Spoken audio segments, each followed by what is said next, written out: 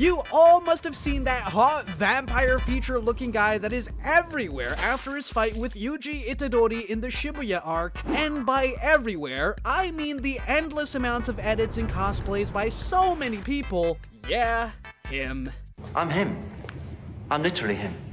Today, we're doing a character analysis on Choso from Jujutsu Kaisen and understanding why he is someone people would write books about. As a cursed wombborn, it is only natural for Choso to have curious instincts. His upbringing has left him with a lot of questions about his lineage and the world beyond it. Who is his father? Why is he not able to fit in as a complete cursed spirit or a human? What is the eventual goal of his life? How will he navigate through this situation that he was put in since his birth? There's a lot to be answered over here, and he himself yearns to understand the broader context of curses, jujutsu sorcery, and the supernatural forces that envelop his existence. But Choso does find answers to a lot of these questions as the series progresses, and despite being a half cursed spirit and half he is not violent and does not hold any disdain towards the Jujutsu sorcerers. In fact, he doesn't even speak in general and is like that background character that you often feel at every social gathering. You can only ever see him engaging in a conversation when it's about his family, as he actually loves his human mother and only despises the sorcerer that toyed with her.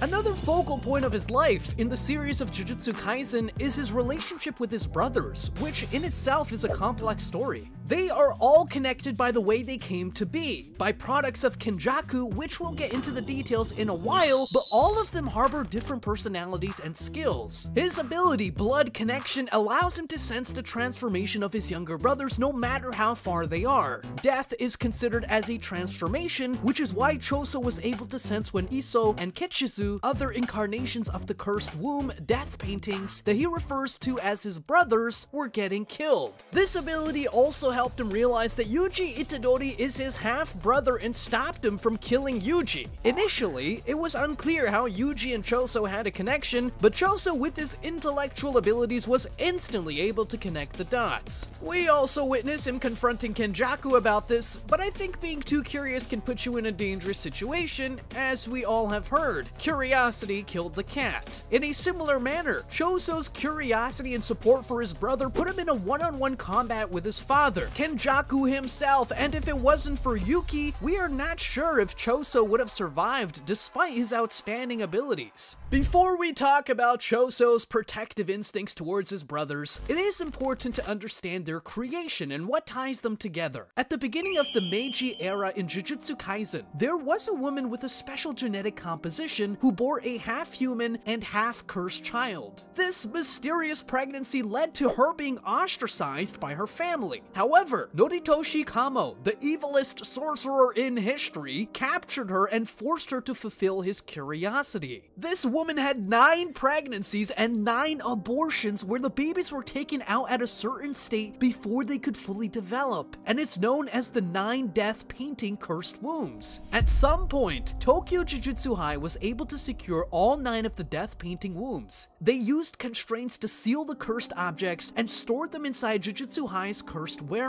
which is hidden behind Tengen's concealing barrier, so you know that security is extra tight. But of course, Gege loves all of his villains so much that Mahito and Kenjaku were able to get death painting wombs number 1 to 3 and incarnated them soon after, which is how Eso, Kechizu, and Choso came to life. This series of events is also relevant to Choso's ability to blood connection with his brothers. Now to answer the question of how Yuji is Choso's half-brother, Kenjaku took over Yuji's mom and gave birth to Yuji. All of this is very messed up, especially if you consider it under real-life circumstances. While a person like Kenjaku shifting bodies is not a possibility in real life, studying his actions that are based on pure experimentation is awful. Going back to the main topic, being the oldest brother, Choso has always felt the responsibility of looking after his other brothers. He believes that he needs to protect his younger brothers and serve as a dependable example because that's what an elder brother does. He also set his life on line just to support Yuji and make up for the hurt he caused before. The way Choso's character is written is quite appreciable since it is a beautifully complex character that, despite his unfortunate birth, paves his own way in life. Choso's birth made him question a lot of things, especially wanting to find his father, not being able to tell that he aligned with him. Then comes his love for his brothers, ended up getting killed by Yuji Itadori, and finally, in his fight with Yuji, the realization that they are actually brothers. His life is full of insane plot twists, and the credit goes to the insane writing that's done in the series. When it comes to personality, Choso is calm and seems indifferent. He does not engage in battles such as the one with Where he didn't want to indulge in killing him because there was not much point to it according to his ideologies. He only ever cares when his family is involved. In a clash of ideals with Naoya Zenin, he refused to understand his ideology of hate only because Naoya's older brothers were weak. He said that as an older brother, it is his responsibility to either present a road to travel on or the one to avoid. This incident explains how Choso tried his best to be a good older brother despite how he was created and whether or not he was a human or a cursed spirit. His character feels much more human than many humans in Jujutsu Kaisen. Choso's dual heritage narratively makes him one of the biggest potential-based characters in Jujutsu Kaisen. As a half-human, he inherited a curse technique from the Kamo clan, was born with two brothers while being able to sense their death, and was born from a human mother, although the method is quite shady. As a half-cursed spirit, he has no memory, naturally has the inclination to kill humans without paying much mind to it, and his existence must be purged. He is granted a human curse technique and amplified its effectiveness due to his cursed spirit nature. In the words of Mechamaru, a blood manipulator without the risk of blood loss since he can regenerate his blood. Inevitably, Choso is more human than a curse, despite the fact that he can be a curse with unknown risk but has no hidden agenda, unlike Sukuna. So, it is more factually accurate to call him human. I mean, even Yuki told him to finally be one. His humane sentiment of brotherhood is further proof of that. His abilities and skill set further his strong sense of identity. All in all, Choso found out how to be his own person and work for his own personal cause despite his circumstances. When it comes to his morals, Choso initially embraces his role as a curse and the violence that accompanies this role becomes second nature to him. But as time passes, he begins to question the very fabric of his actions. Is violence truly the only path? Yes! You are my special. Like Satoru's moral compass was Suguru's existence back when they were in Jujutsu High, Choso's moral compass is calibrated by his family, and his love for his brothers is unconditional and unwavering as seen on multiple occasions throughout the series. He can't understand someone like Naoya Zenin. Naoya hates all of his older brothers because they are weaker than him. Choso argues that older siblings either present the road to travel or the one to avoid. He believes perhaps someone like Naoya is only strong because his brothers are weak. Unlike Naoya, Choso didn't have an older brother to show him the way, so he always stumbled and made mistakes. Even so, Choso stands tall and walks the path ahead of his younger brothers, and it is from this dedication that he draws strength. When it comes to ethics, Choso is a simpleton, protects his brothers and kills his father, Kenjaku, the real tormentor of his entire life. While for humans there exists a concept of forgiveness, we also need to remember Choso's half-cursed spirit nature, which holds values of vengeance and just wants to destroy the thing they hate the most.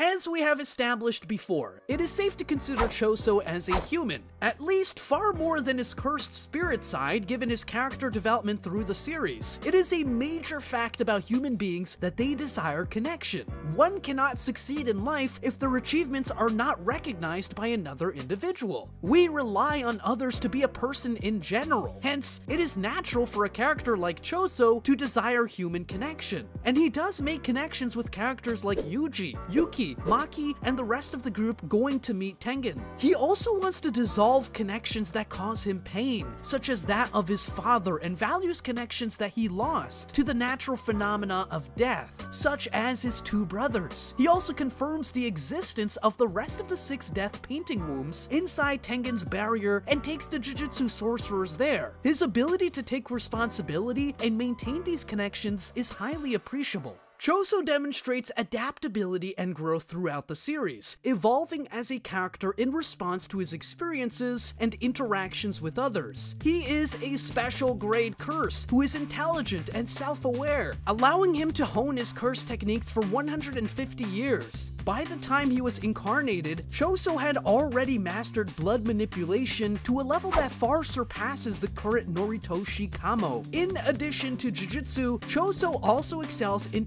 Taijutsu, capable of standing up against a master martial artist like Yuji. Using his wit alongside a host of techniques to contend with Yuji's strength, Choso overcame his opponent to the degree that he could have ended his life. Despite exhausting himself during the Shibuya incident, Choso continued to fight and clashed with Kenjaku in order to help Yuji. Although Kenjaku escaped mostly unscathed, his partner Uraume was hit by Choso's piercing blood technique and poisoned. Naoya Zenin, a special grade 1 sorcerer and inheritor of the former head of the Zenin family's projection sorcery, is another close combat fighter that Choso battled and defeated. In addition to this, Choso and his brothers were all created as an experiment by Kenjaku to exceed the bounds of cursed energy, which is why he is able to use his curse technique without exhausting much cursed energy. Like Eso and Kechizu, Choso's blood is also poisonous, something he thinks should be obvious. It takes effect fairly quickly and drains its victim's stamina, causing them to sit and find themselves short of breath. He also holds the ability of blood conservation, allowing him to convert his cursed energy into blood. As long as Choso has enough cursed energy, he can prevent his body from dying of blood loss. This makes him capable of bleeding a literal wave of blood without suffering any significant dysfunction in his performance. His abilities do not end with blood manipulation, as he is able to exhibit many more like slicing exorcism, convergence, piercing blood, supernova, blood edge, flowing red scale, flowing red scale, stack, blood meteorite, and wing king.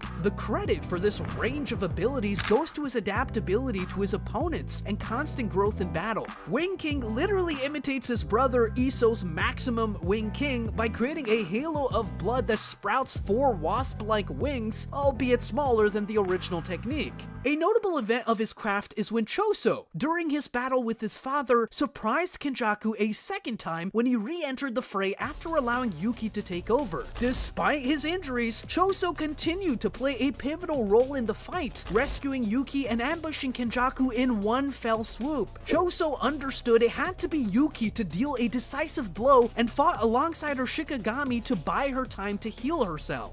This allowed them to take the momentum back, which again impressed Yuki, who initially believed Choso would hold her back if they fought together. Choso's adaptability makes him a master in combat and intellectual strategy. When faced with the responsibility of protecting Yuji against an impossible opponent like Yuta Okotsu, Choso was able to form a solid plan in a very short amount of time. Although Choso was ultimately thwarted, he wanted to block off Yuta and allow Yuji to escape, while also dealing with Naoya so the speed type couldn't give chase. Once Choso realized he was at a disadvantage, he focused on his technique Flowing Red Scale Stack in his eyes to raise his dynamic visual acuity in order to track Naoya's speed. He also noticed that Naoya was familiar with blood manipulation and got the Zenin clan sorcerer to walk right into Supernova, a Choso original Naoya's clan would have no knowledge of. Another example of his battle readability and strategic approach is when he helped create the best possible plan to combat Kenjaku with Yuki and Tengen. Choso pointed out that Kenjaku wouldn't open his domain against Yuki if he knew someone else was lying in wait. The plan was altered to use Choso to draw out Kenjaku's curse techniques and convincingly remove himself from the fight. This was ultimately successful despite a few mishaps. As noted by Naoya Zenin, Choso is exceptionally tough. He was able to withstand multiple hits from Yuji, who possesses superhuman strength enhanced with cursed energy, and masterful precision in his martial arts technique.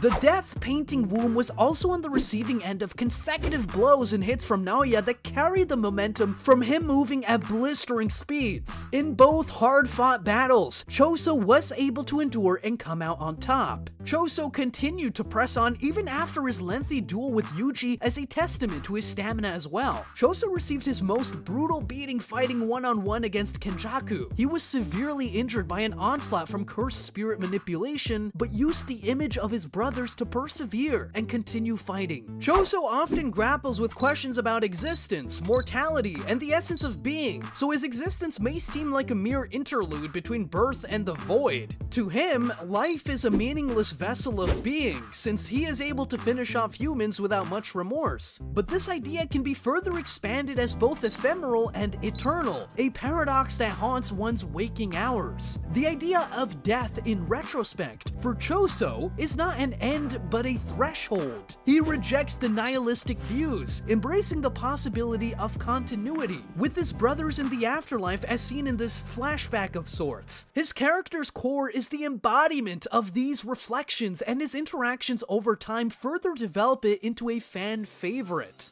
Although Choso has been accepted by Yuji, he still regrets what happened with Eso and Kechizu. He feels responsible for the death of his younger brothers and fears that Yuji will be left alone because of his older brother's foolish choices. Choso initially decided to live as curses because he knew Eso and Kechizu wouldn't be accepted by humanity. Choso now feels as if that was the easy path, which in turn ruined a future where the four of them were destined to all fight together. He was very emotional when admitting this to Yuki, who eventually told him to die as a curse so he could live on as a human alongside Yuji. Despite their short time together, Choso was distraught over Yuki's death and did his best to honor her legacy by passing her notes on to Yuji. Even the worst of people can sometimes learn the path of redemption, and Choso stands as one of the few, if not only, in Jujutsu Kaisen who was able to switch sides and delve into the concept of forgiveness. And his motivation behind it was very pure, to help his brothers no matter what side they belong to. Choso's dedication to his family is on par with any, since shortly after discovering Yuji as a brother, he decided to switch sides and put his life online to help Yuji. This act was just him making up for what he did to Yuji previously. His conversation with Yuki also paints quite a human picture of just two beings having a conversation about how they really feel about each other. Yuki, being our Jujutsu Kaisen therapist, also always finds people in complicated situations like Geto or Choso and then gives them an opinion that may further their cause. All in all, it is commendable how Choso progressed and dealt with his external and internal issues. And it is obvious why he gained so much popularity